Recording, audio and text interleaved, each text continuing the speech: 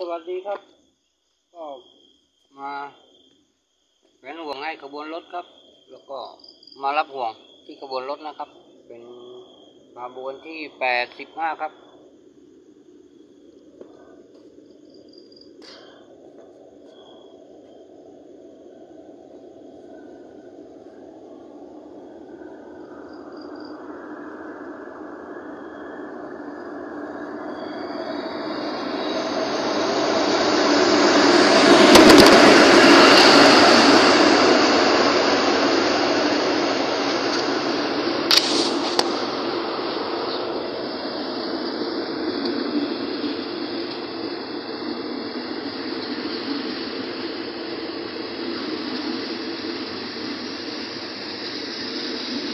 ก็จะประมาณนี้ครับ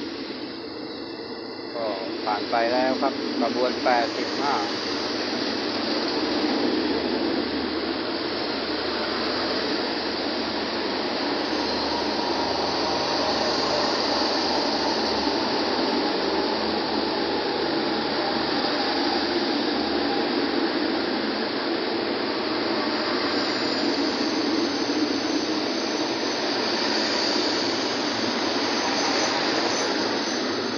ผ่านไปแล้วครับ กระบวนแปดสิบห้ารู้สึกว่าจะยาวมาก